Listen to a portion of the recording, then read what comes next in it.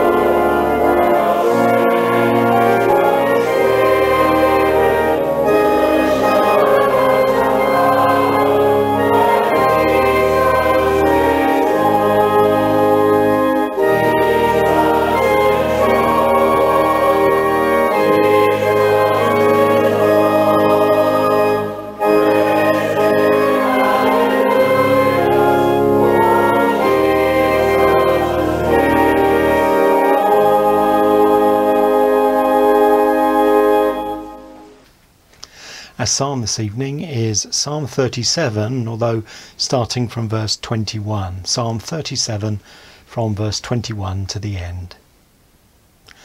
The wicked borrow and do not repay, but the righteous give generously. Those the Lord blesses will inherit the land, but those he curses will be cut off. If the Lord delights in a man's way, he makes his steps firm. Though he stumble, he will not fall, for the Lord upholds him with his hand. I was young, and now I am old, yet I have never seen the righteous forsaken, or their children begging bread. They are always generous and lend freely. Their children will be blessed. Turn from evil and do good. Then you will dwell in the land forever. For the Lord loves the just and will not forsake his faithful ones. They will be protected forever, but the offspring of the wicked will be cut off. The righteous will inherit the land and dwell in it forever. The mouth of the righteous man utters wisdom, and his tongue speaks what is just. The law of his God is on, in his heart, his feet do not slip. The wicked lie in wait for the righteous, seeking their very lives. But the Lord will not leave them in their power, or let them be condemned when brought to trial. Wait for the Lord and keep his way. He will exalt you to inherit the land. When the wicked are cut off, you will see it. I have seen a wicked and ruthless man flourishing like a green tree in its native soil. But he soon passed away and was no more. Though I looked for him, he could not be found. Consider the blameless, observe the upright. There is a future for the man of peace. But all sinners will be destroyed. The future of the wicked will be cut off. The salvation of the righteous comes from the Lord. He is their stronghold in times of trouble. The Lord helps them and delivers them. He delivers them from the wicked and saves them, because they take refuge in him. Well, we're going to sing again now, and it's number 152 in Christian hymns. How sweet the name of Jesus sounds in a believer's ear. It soothes his sorrows, heals his wounds, and drives away his fear.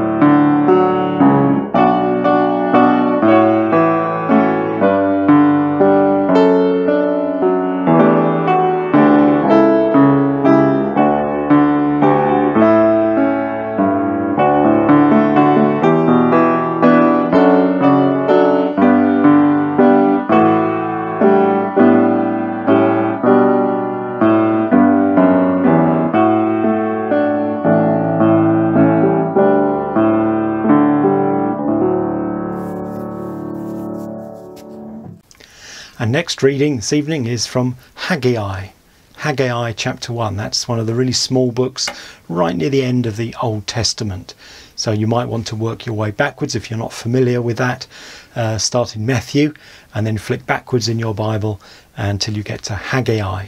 And uh, we're just looking at chapter 1. Uh, Beryl is going to read that for us now. Haggai chapter 1 A call to build the house of the Lord. In the second year of King Darius, on the first day of the sixth month, the word of the Lord came through the prophet Haggai to Zerubbabel, son of Shealtiel, governor of Judah, and to Joshua, son of Jehozadak, the high priest.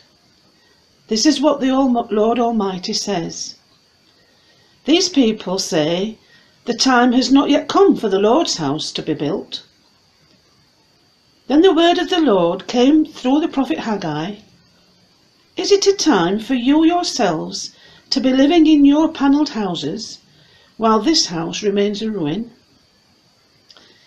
Now this is what the Lord Almighty says.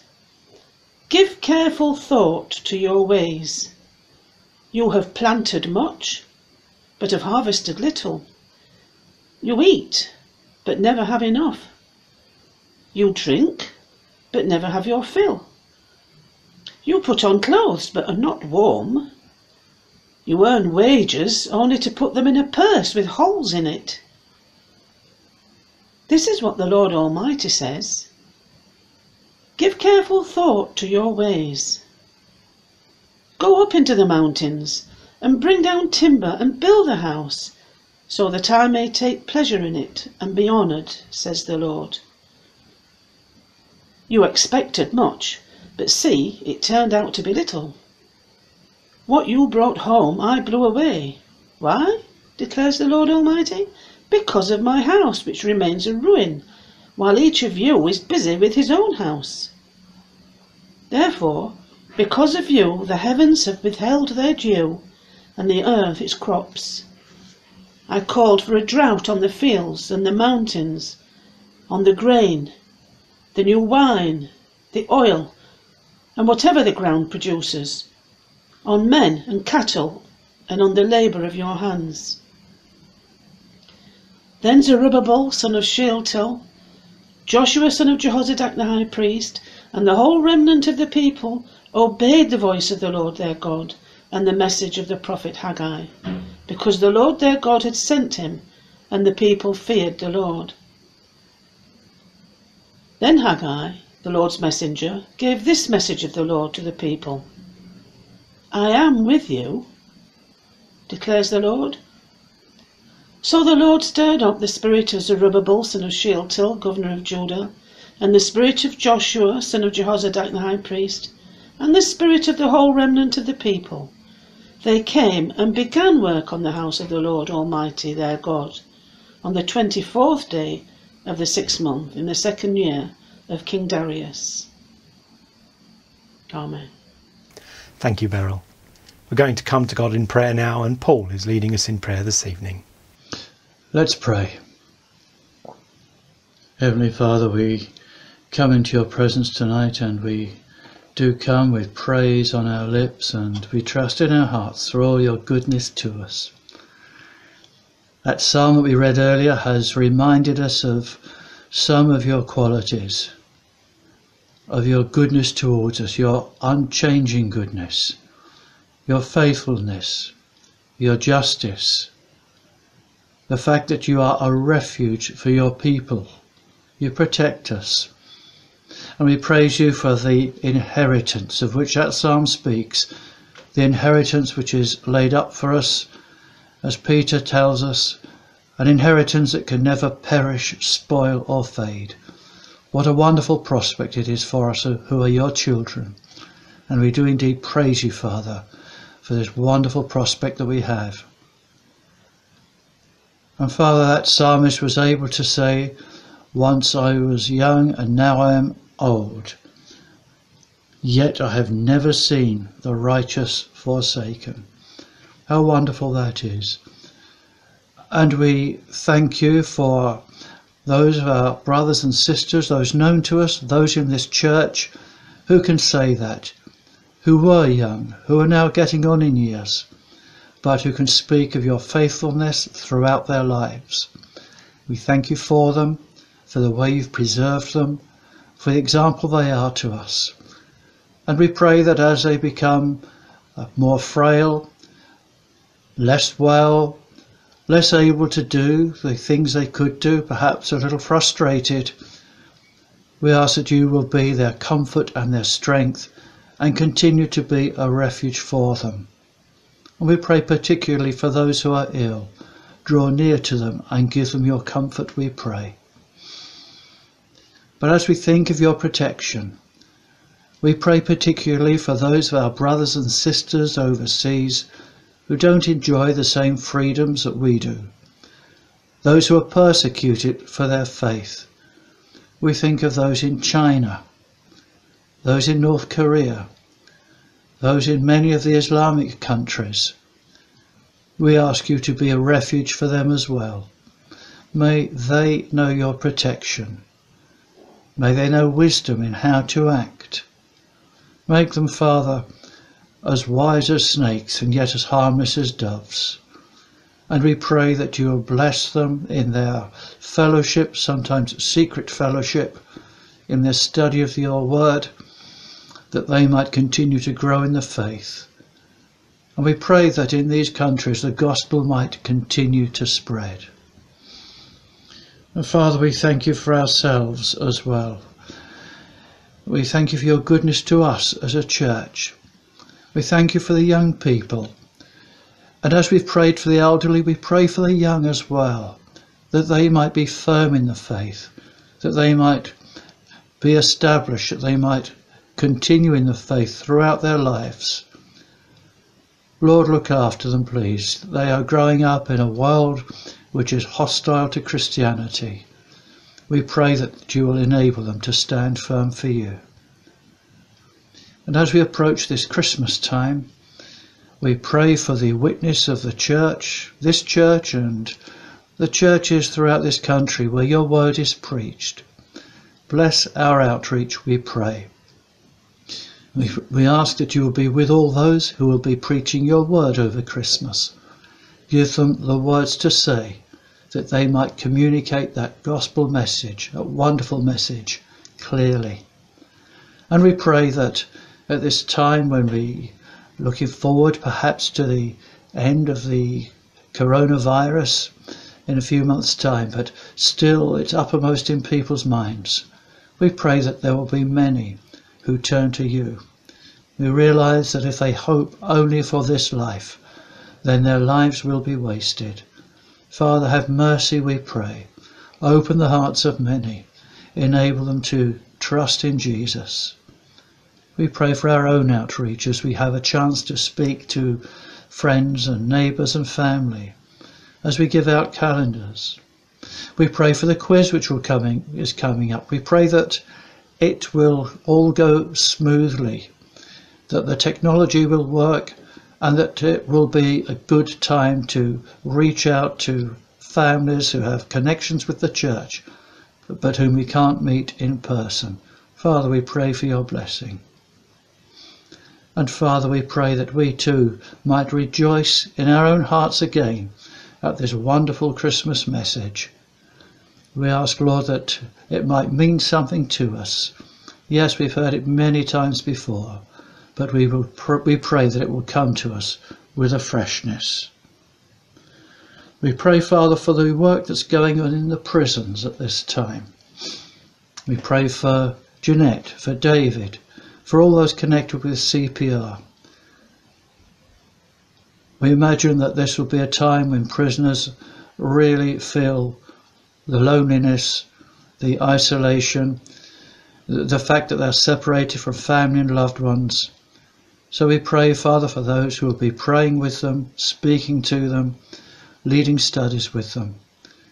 We again, Lord, ask for your mercy that there will be those in prisons who will be saved over this Christmas time. So, Lord, we come to you. We ask for forgiveness for our sins. We know that we let you down in many ways. Father, please forgive us. Hear our prayers as we offer them in Jesus' name. Amen. Thank you, Paul. Before we turn to God's Word, we're going to sing again. It's number 48 in Christian hymns.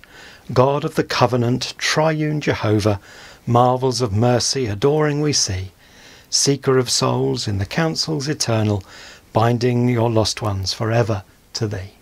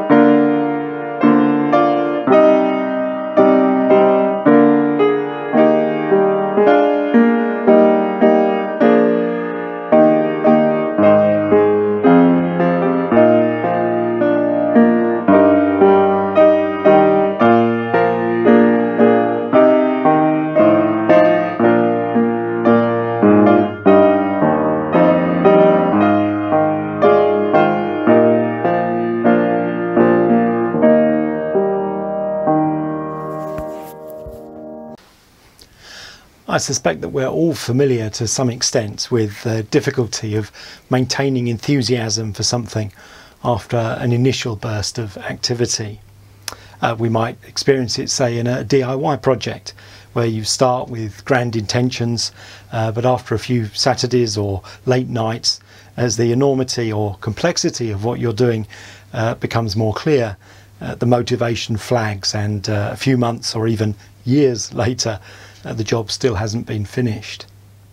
Or perhaps we find that our excitement for something starts almost at fever pitch, uh, but as time goes on, we're actually quite happy to be distracted by other things because, well, they're less effort, and uh, maybe we find other things more personally satisfying. Some people, sadly, will even allow a marriage to fall apart because, well, they say it's not working for me and frankly the effort to make it work when perhaps the husband and wife have different expectations and desires just seems too much compared with enjoying a bit of a thing with a colleague at work or whatever. A covenant relationship, which is what a marriage is, requires work, commitment, determination, perseverance, and selfless love to make it work, and that can be tough. Well, as we come to the last of our three minor prophets in this series called Thoughts from Three Minor Prophets, we're looking at Haggai this evening. And here we read about another covenant relationship that was under strain, you might say the relationship between God and his chosen people. The fault is certainly not with God in any way whatsoever. All the blame for the difficulties lies with his people and we'll look more closely at that in a moment, but first a bit of background to help us get our bearings. Two weeks ago, we looked at Nahum and last week at Zephaniah. We saw that both of these books were just three chapters long and were set basically in the latter half of the 7th century BC, with Zephaniah prophesying probably just after Nahum. Nahum's words were directed largely at the Assyrian capital Nineveh and were spoken sometime after 663 BC, but before 612 when Nineveh was destroyed, uh, but quite probably before 627, uh, which was when Ashurbanipal, the last great king of Assyria, died. While Zephaniah's words were directed largely at Judah and Jerusalem and were spoken during the reign of Josiah. Um, possibly after the discovery of the Book of the Law in 622 BC during the temple renovations. If you know Judah's history, uh, you'll know that after a number of interventions by the Babylonians at the very beginning of the 6th century BC, with groups of Jews being taken back to Babylon from that time on, Jerusalem was finally reduced to rubble by Nebuchadnezzar in 586 BC, and most of the remaining people were exiled to Babylon or to the region around Babylon at that time. Well, as we now come to Hag- Haggai, we're jumping forward a hundred years or so from Zephaniah's time. So, past the destruction of Jerusalem in 586 and the return of the first exiles from Babylon following King Cyrus of Persia's decree, which was in 538 BC. And so we, we arrive at 520 BC. And in fact, to very, four very specific dates in 520 BC uh, here in Haggai, in the second year of King Darius' reign. Those four dates are the 29th of August, the 21st of September, the 17th of October, and the 18th of December. Now, this book has just two chapters and there are only 38 verses, so it's a very quick read. And it contains four messages from God for the leaders and the people in Jerusalem at that time. The prophet Zechariah was Haggai's contemporary, and both are mentioned in Ezra chapter 5 as being used by God to help Zerubbabel, the governor, and Jeshua or Joshua, the high priest, in their work of rebuilding the temple.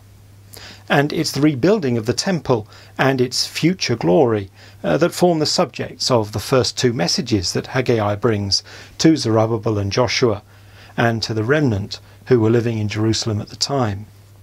What I'd like to do this evening is look through this short book, picking out three themes that either present a, a challenge that still comes down to us today or that give us as much pause for thought and fuel for praise today as God's word through Haggai did to the original hearers 2,539 years ago. Well, firstly, I want to think about the theme of priorities. The first message that God sends to Zerubbabel, son of Shealtiel, governor of Judah, and to Joshua, the high priest, is a very challenging one because it highlights the failure of the people of Jerusalem to prioritize the rebuilding of the temple. Um, just for information, Zerubbabel was the grandson of the exiled king Jehoiachin, and Joshua the high priest was a descendant of Levi and the son of Jehozadak, who had been taken captive and deported to Babylonia when Nebuchadnezzar sacked Jerusalem in 586 BC. Well, 18 years before the date of this first uh, message from the Lord, the first returnees had arrived, and although within two years, so by 536 BC, Zerubbabel and Joshua had built the altar and laid the foundations for the temple, uh, they faced opposition and became discouraged, and the building work had stopped. As Haggai brings God's first message to the people, it's now uh, the second year of King Darius on the first day of the sixth month, and that's the 29th of August, 520 BC. And we read there that the word of the Lord came through the prophet Haggai to Zerubbabel son of Shealtiel, governor of Judah, and to Joshua son of Jehozadak, the high priest. And it becomes clear that the initial zeal that had gripped the people 16 years earlier had well and truly waned. Sadly, this wasn't just because of the discouragement of opposition, as we see as we read on. From verse 2 This is what the Lord Almighty says These people say the time has not yet come for the Lord's house to be built. Then the word of the Lord came through the prophet Haggai. Is it a time for you yourselves to be living in your panelled houses while this house remains a ruin?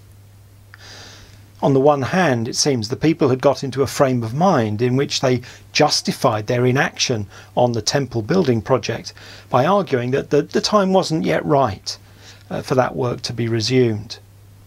On what basis they argued that, we, we don't know. But on the other hand, in the next word through Haggai, I think the Lord really exposes the reason. They had prioritised sorting out their own houses, and in fact to a high standard, it seems. Their hearts had evidently grown cold towards the Lord, and had turned inward and become focused on themselves and their own lives and their own comfort. What should have been their top priority, re establishing temple worship in all its fullness, had been relegated and basically put on the back burner.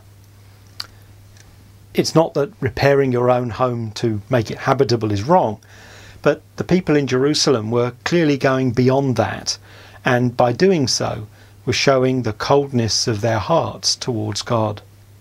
Towards the God who had been faithful to his promises in preserving them during their time of exile, and in bringing them back from exile, and enabling them to settle again in Judah. And that's a real tragedy, isn't it? But it's a charge from God that presents us with a challenge too in our day, I think. Perhaps we're very happy indeed to claim the blessings of God's salvation through Jesus.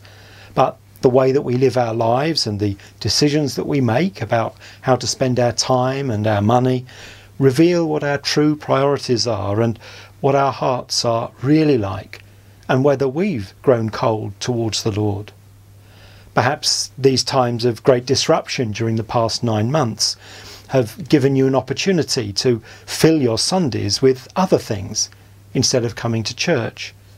Perhaps you've only been bothering to watch one service each Sunday online instead of originally coming to two services in the building. Perhaps you've quite happily skipped a week here and a week there because, well, other stuff has filled up the time, and the desire to spend even just an hour watching a service just hasn't been there. Perhaps, as in the parable of the sower, with the seed among the thorns, you've allowed the worries of this life, the deceitfulness of wealth, and the desires for other things simply to push the Lord out. Perhaps, like some in the church in Ephesus in Revelation 2, you've forsaken your first love. Look at what the Lord says next through Haggai in verse 5. Now, this is what the Lord Almighty says Give careful thought to your ways. That's a phrase that's repeated five times in this short book and clearly needs to be said because this was something that the people simply hadn't been doing. It seems that they hadn't stopped to reflect on their situation. They hadn't given careful thought to their hearts to their circumstances or to God's word. Because if they had, they would have realized that their poor harvests, their struggling cattle, and their hard, fruitless lives were all aspects of the curses set out for God's people in Leviticus 26 and Deuteronomy 28. It was God who was withholding the, these material blessings in accordance with the covenant that He had made with the people because they were failing to fulfill their obligations under that same covenant. Look at verse 9. You expected much, but see, it turned out to be little. What you brought home, I blew away. Why? declares the Lord Almighty. Because of my house, which remains a ruin, while each of you is busy with his own house. The answer to their difficulties was, as God states in verse 8, Go up into the mountains and bring down timber and build the house, so that I may take pleasure in it and be honoured. They needed to put God first, and so do we. Although we don't live under the Mosaic covenant, so under those blessings and curses, we do still have a God who disciplines those whom he loves. And if we're truly his children, We must be those who give careful thought to our ways, to consider where God and our obedience to His word sit in our list of priorities. The excuse of the people in Haggai's day was the time isn't right yet. In other words, we want to do all this other stuff and get everything else sorted for my comfortable life. Have you come across professing Christians, I wonder, who are like that? Who say that they love the Lord, but as you look at the choices that they make in life, the things they choose to spend their time and their money on, uh, the frequency with which they choose not to join with others on the Lord's Day at church or at a midweek Bible study, and so on. And you realize that they have very little desire, really, to serve the Lord or to dedicate themselves to growing in their love and knowledge of God or to serving others within the church or to sharing in the privilege of taking the good news to the community in which they live. It's easy, I suppose, and certainly tempting to think about other people when we hear a challenge like this. But I would suggest that each of us would do well to hear God's word first and foremost as a word to ourselves. Give careful thought to your ways. What's really wonderful in this situation is uh, to read how the people responded in verse 12. Then Zerubbabel son of Shealtiel, Joshua son of Jehozadak, the high priest, and the whole remnant of the people obeyed the voice of the Lord their God and the message of the prophet Haggai, because the Lord their God had sent him, and the people feared the Lord. God enabled them to respond rightly to this challenge. They didn't turn around and start throwing accusations at Haggai. Uh, they didn't tell him to go away. Uh, the Lord softened their hearts and they were able to listen and respond rightly because they recognized that uh, the Lord their God had sent Haggai, that this was a message from God, and they feared the Lord and understood that they needed to obey his call to give careful thought to their ways and to prioritize the building of uh, the rebuilding of the temple. Now, we don't have a temple to build, but we certainly have Christian lives to build and grow.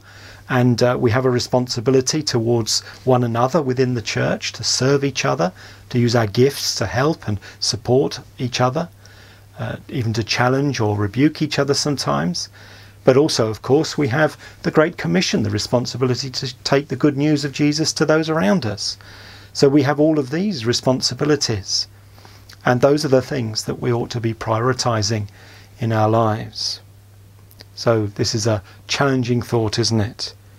May God grant that we too may have hearts that respond in the same way as the people did in those days. But moving on, the next theme I want to mention is presence by which I mean God's continuing presence with his people, which, in view of the selfishness of the people that we've just been highlighting, I think is staggering, uh, but wonderfully comforting. God gives them this reassurance in verse 13 of chapter 1. And Haggai, the Lord's messenger, gave this message of the Lord to the people I am with you, declares the Lord. And then as we read on, we see that the Lord demonstrates his presence among the people by giving them the desire to obey his call. Verse 14 So the Lord stirred up the spirit of Zerubbabel, son of Shealtiel, governor of Judah, and the spirit of Joshua, son of Jehozadak, the high priest, and the spirit of the whole remnant of the people. They came and began work on the house of the Lord Almighty their God on the 24th day of the sixth month in the second year of King Darius. That's the 21st of September 520 BC. So, how wonderful! The Lord stirred them up. The Lord did this work to give them this desire to uh, now prioritize the rebuilding of the temple. But it may be that as the people got stuck into the work, uh, the older folk among them were lamenting how small and pathetic this new temple seemed compared with Solomon's temple, and that could easily have been a great discouragement to the people, perhaps even causing a sense of despair. This isn't like the olden days. It's very tempting, isn't it, sometimes to think like that? And certainly, if you read much church history, it can be tempting for us to feel like this today. Look how godless our society is now. Look how weak and feeble the church seems to be in our day. Look how few people are interested in really finding out more about the Lord. And even among those who claim to be Christians, look how little respect is given to his word and little attention is paid to actually putting that word into practice in our lives. We do live in what seem to be very small, almost pathetic days as far as the uh, glory of the church, the glory of God displayed in the church is concerned. But look at the wonderful words of encouragement that the Lord has for his people at, at that moment in history. And I think, you know, we can learn from that for our day. From chapter 2, verse 1. On the 21st day of the seventh month, so we're now on to the 17th of October, 520, the word of the Lord came through the prophet Haggai. Speak to Zerubbabel, son of Shealtiel, governor of Judah, to Joshua, son of Jehozadak, the high priest, and to the remnant of the people. Ask them, Who of you is left who saw this house in its former glory? How does it look to you now? Does it not seem to you like nothing? So the Lord is acknowledging that, uh, you know, they could well feel very discouraged over the current situation. Verse 4 though, But now be strong, O Zerubbabel, declares the Lord. Be strong, O Joshua, son of Jehozadak the high priest. Be strong, all you people of the land, declares the Lord, and work. For I am with you, declares the Lord Almighty. This is what I covenanted with you when you came out of Egypt, and my spirit remains among you. Do not fear. See that threefold call to be strong reminds us of um, the beginning of Joshua, doesn't it, in the Old Testament? God gives them this wonderful reassurance I am with you, declares the Lord. My spirit remains among you. So, what are they to do? Work. You just get on and do the work. Don't worry about whether you think it looks grand or not, or whether it's the same as the previous temple, that isn't your concern. Put me first, prioritize the rebuilding of the temple.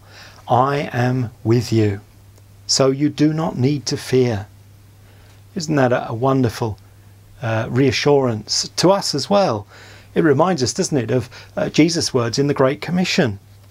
Therefore, go and make disciples of all nations. So that's the work we're to do baptizing them in the name of the Father and of the Son and of the Holy Spirit, and teaching them to obey everything I have commanded you. So that's the work that goes on within the life of the church, where we receive instruction from God's Word and we help and support and teach one another. And surely I am with you always to the very end of the age. Do you see, Jesus repeats that same promise to his people as the Lord gave to those people in Haggai's day. I am with you. I am with you always. And that is what makes the difference. That's what lifts us from any sense of despair that we may have. God's presence with his people.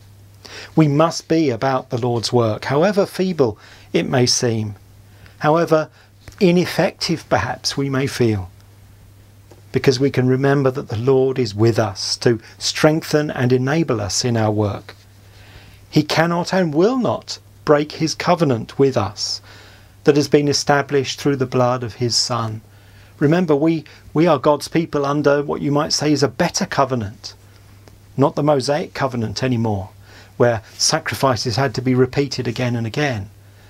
The Lord Jesus Christ, in giving of himself, sealed this new covenant with his blood and God will not break that covenant. This is what I covenanted with you, God said to them. And in effect, He's saying the same words to us as we look to Jesus. My spirit remains among you. Do not fear. Wonderfully encouraging, don't you think? Well, lastly, I want to mention promise. As is usual among the prophets, God spoke through Haggai not just to call them back to Him, and to challenge them to remember and keep the covenant that he had established with them, But he also encouraged them by reassuring them of his presence with them, as we've just seen, and by making promises to them regarding the future. In particular, what we see in the last part of the second message and the fourth message are promises that point forward to the Messiah and the blessings that would come to God's people through him. And in the third message, promises that God would do what the people cannot do for themselves because of their defilement, because of their sin, which, of course, ultimately is also a messianic promise. Verse 6 This is what the Lord Almighty says. In a little while I will once more shake the heavens and the earth, the sea and the dry land. That's a, a reference to uh, times of judgment. Um, we could say there are two fulfillments at least of that. Um, certainly after the Lord came the first time, and uh, an end is, is brought to the old covenant, and uh, in a sense, judgment is passed upon the Jews. Um, but ultimately, the fulfillment is at the end of time when the Lord Jesus comes again. Verse 7 I will shake all nations, and the desired of all nations will come. Uh, traditionally, that's seen as a reference to the Lord Jesus, the Messiah. Um, some commentators debate that, but I think that's a, a reasonable um, interpretation. And I will fill this house with glory, says the Lord Almighty. The silver is mine, and the gold is mine, declares the Lord Almighty. The glory of this present house will be greater than the glory of the former house, says the Lord Almighty and in this place I will grant peace, declares the Lord Almighty. Wonderful promises to reassure the people as perhaps they do feel despondent at how pathetic this temple seems to be. God says He's going to fill it with glory, and uh, the glory of this present house will be greater than the glory of the former house. Well, in what way could that be true? Because Solomon's temple, the previous one, was very majestic in terms of its appearance, certainly when it was first built. Uh, it didn't look like that by the time the Babylonians came along, of course, because everything had been stripped away, the gold had all been taken, and, and so on. But um, how could he say that the glory of this house is going to be greater? Well, ultimately, of course, because Jesus came uh, to to this very temple actually, although it had been renovated very much by Herod um, in Jesus before just, just before Jesus' day, um, and Simeon, in fact, in the temple when the Lord Jesus is brought as a baby um, into the temple, uh, Simeon talks about the glory of the people of Israel. He says, Sovereign Lord, as you've promised, you now dismiss your servant in peace, for my eyes have seen your salvation, which you have prepared in the sight of all people, a light for revelation to the Gentiles and for glory to your people Israel. And the glory of the Lord Jesus, of course, far exceeds the, uh, the glory of all the symbols within that Old Testament temple. And so there is something far greater about the Lord Jesus. And in fact, of course, ultimately the temple points to Jesus. That's why Jesus could talk to the Jews of his day um, and say things like, Well, destroy this temple and I will rebuild it in three days. And of course, he's talking about his own body, his own life. Ultimately, he is the replacement of that physical temple, that particular bit of architecture. Uh, it was just pointing forward to him. And of course, his glory ultimately is even greater still. And in this place I will grant peace, declares the Lord Almighty.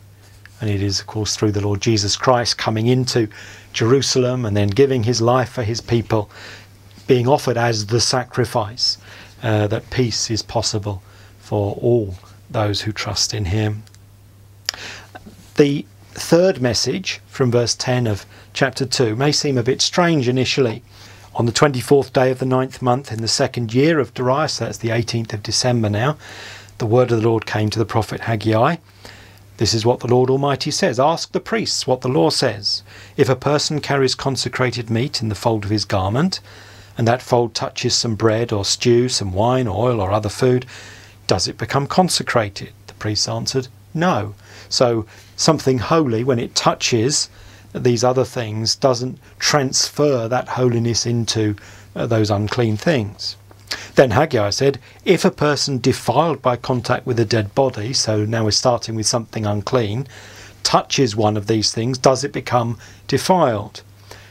Yes, the priest replied, it becomes defiled. So holiness can't be transferred to those things that are defiled, but the defiled things can certainly pass their defilement on uh, to holy things and um, you know nullify the holiness.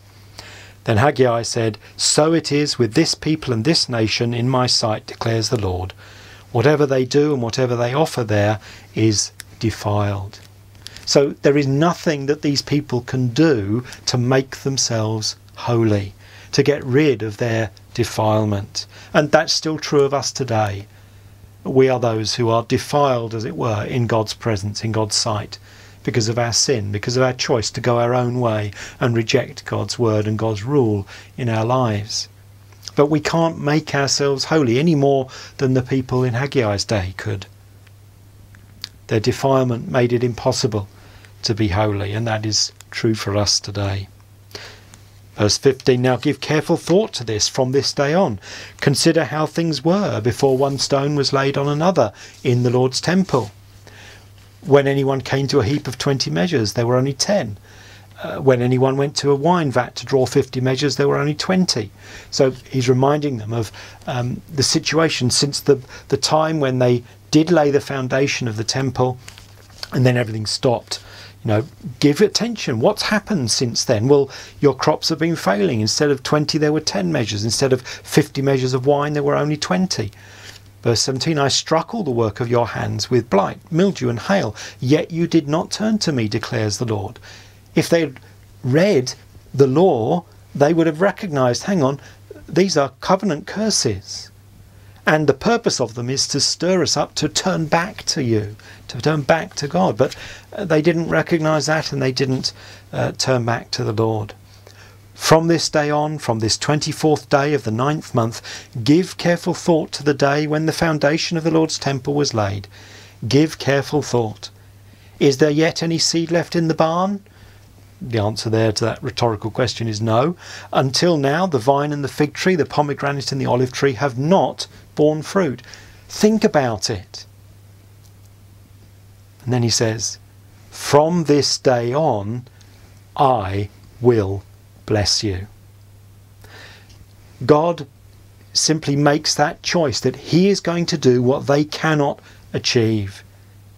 And they're to make a mental note of their past situation. They're to give careful thought to the promised blessing and remember that this is a work of God's grace alone. That when God grants them blessing, once they've restarted the work of the temple, um, building the temple and completed it, and as God grants this blessing from this day on, I will bless you, they're to call that to mind and think back to the past and acknowledge that it was their fault, that the blessings were withheld, and that it is only by God's grace that the blessings that they will then experience um, have come to them. Salvation is entirely a work of God's grace, and that is absolutely still true today. It is a work of God's grace alone.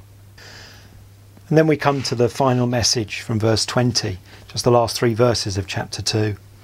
The word of the Lord came to Haggai a second time on the 24th day of the month, so we're still on the 18th of December. Tell Zerubbabel, governor of Judah, that I will shake the heavens and the earth. So again, remember this is a time of judgment that's going to come. I will overturn royal thrones and shatter the power of the foreign kingdoms. I will overthrow chariots and their drivers, horses and their riders will fall, each by the sword of his brother. On that day, declares the Lord Almighty, I will take you, my servant Zerubbabel son of Shealtiel, declares the Lord, and I will make you like my signet ring for I have chosen you, declares the Lord Almighty. So now a, a, word of promise that seems to be directed particularly at Zerubbabel, but actually is for the benefit of all of God's people, the encouragement of them all, and down to us today. Zerubbabel, remember we said, was a descendant of David. He was the grandson of Jehoiachin. And uh, in Jeremiah 22, verse 24, uh, God passes a, a judgment or a curse, you might say, on Jehoiachin.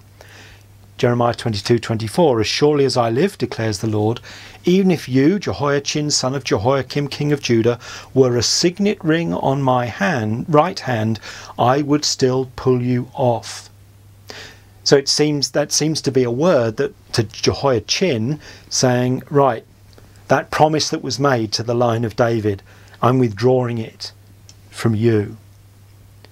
Well, now through Haggai, it seems the Lord is reinstating that. He's reversing that curse, you might say. On that day, declares the Lord Almighty, I will take you, my servant Zerubbabel, son of Shealtiel, and I will make you like my signet ring, for I have chosen you, declares the Lord Almighty.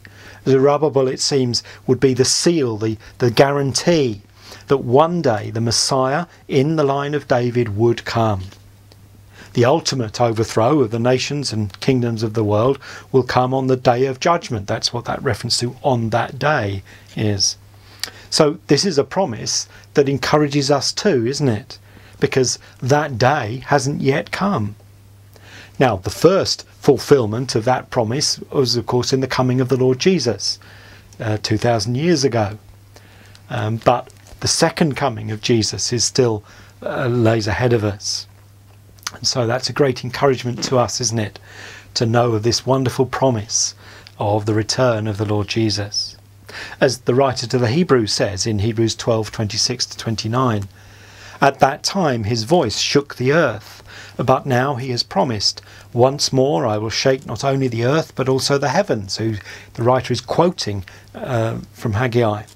The words once more indicate the removing of what can be shaken, that is, created things, so that what cannot be shaken may remain. Therefore, since we are receiving a kingdom that cannot be shaken, let us be thankful, and so worship God acceptably with reverence and awe, for our God is a consuming fire.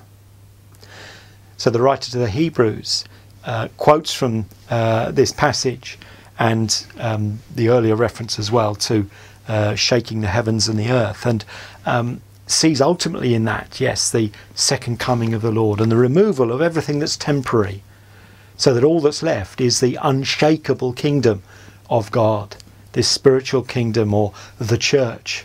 Um, and we're receiving that kingdom, and our response should be one of thankfulness and worship. Think of what God has promised to us, His people. Remember that He is present with us by His Spirit.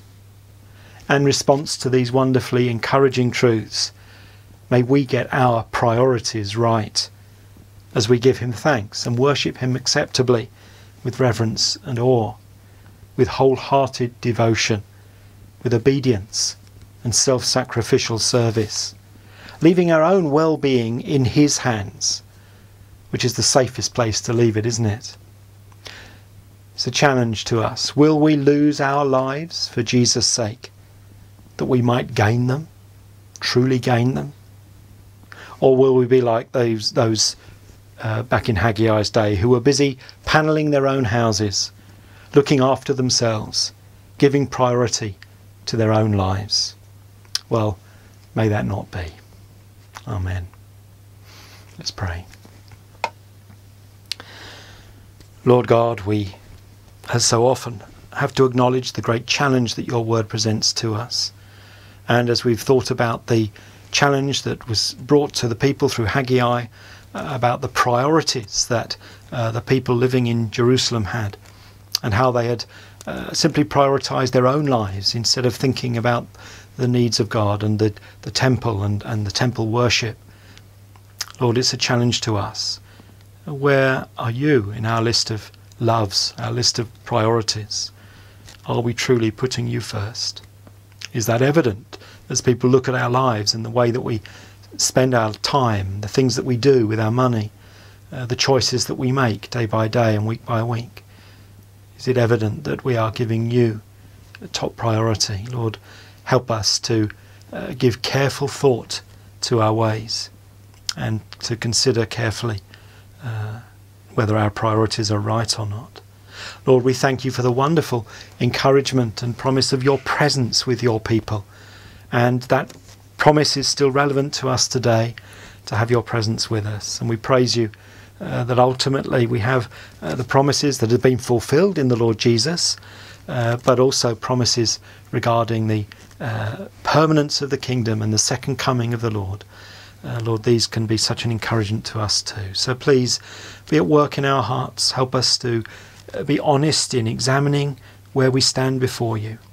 And if we find that we have not given you the right priority in our lives, please forgive us. Please move and stir our hearts as you did the hearts of the people back then, so that we may respond rightly to the challenge of your word. That we may worship you and rejoice and give thanks because of your presence with us and because of the wonderful promises that you have made to us. We ask these things in Jesus' name. Amen.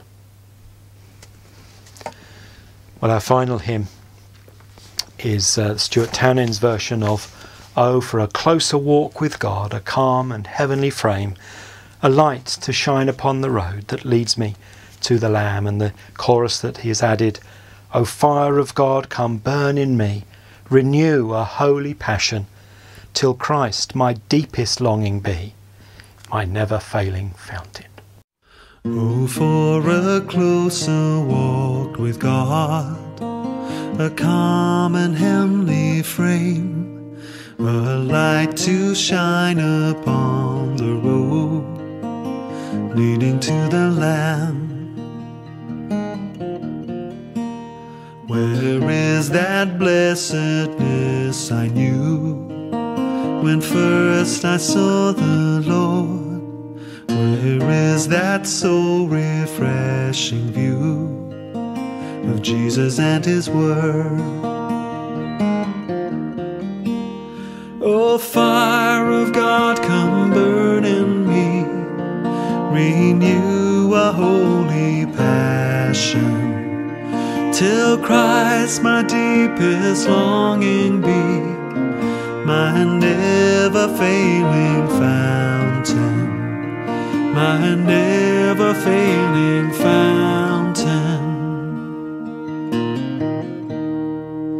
What peaceful hours I once enjoyed, how sweet the memories still, but they have left an aching void the world can never fill. Oh, fire of God, come burn in me, renew a holy passion, till Christ my deepest longing be, my never failing fountain, my never failing fountain.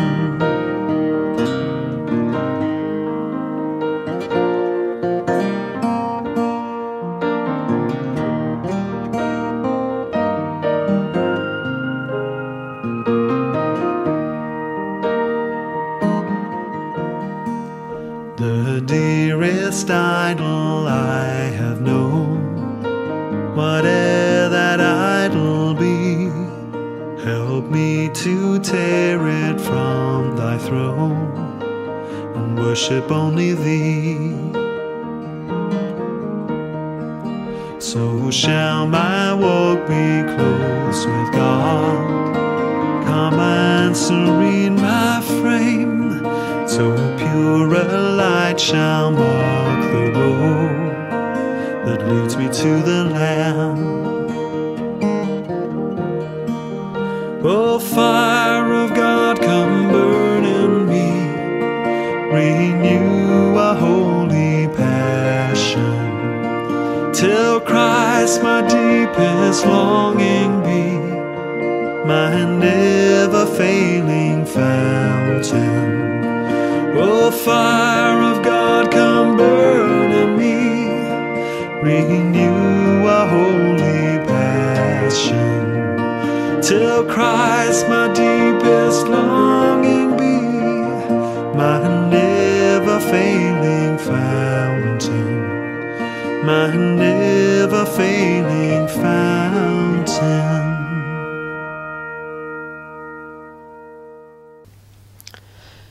May God Himself, the God of peace, sanctify you through and through. May your whole spirit, soul, and body be kept blameless at the coming of our Lord Jesus Christ. The one who calls you is faithful and he will do it. Amen. Thank you for joining us for our service this evening. Um, as you're aware, of course, we're uh, in uncertain times at the moment. Uh, the elders at the church are reviewing each week whether it's feasible for us to meet in person uh, the following Sunday, and uh, next Sunday is the 20th. And uh, we are going to be having our family carol service, but we haven't yet made the decision whether we can have that in the building or whether that will have to be uh, a video online.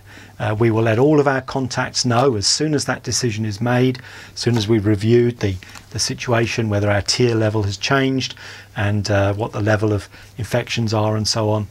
Um, and we'll communicate that decision as soon as we can to everyone on our list of contacts. If you're not currently on our list of contacts but you would like to, to hear that news, then please get in touch. The email address is on the uh, screen at the end, and uh, then we can make sure that we send you uh, the information as well. So um, I hope you can join us one way or another uh, next Sunday. And uh, but I trust that you'll keep safe during this week. Uh, may the Lord bless you. Thank you for joining us tonight. Waterford House regulars will be aware that at Christmas time, our congregation are given the opportunity, if they wish, rather than giving Christmas cards to each other, to give a donation to a particular charity instead. This year, the charity that's been chosen for that is Caring for Life, a Christian charity based in Leeds that cares for the most vulnerable people in that city. It's also been our custom to have a special collection at the family carol service that would go to a particular charity. And this year, uh, that collection is going to the Savannah Education Trust, a charity providing Christian schools in northern Ghana. Uh, you'll be able to hear more about the Savannah Education Trust at our carol service on the 20th. If you'd like to give towards either of these charities through the church this Christmas, please contact us at the email address on the screen to ask for our bank details so that you can make a donation via online banking. We can also tell you about other ways in which you can give if online banking isn't your thing. Please do get in touch to find out more. Thank you for your generous support.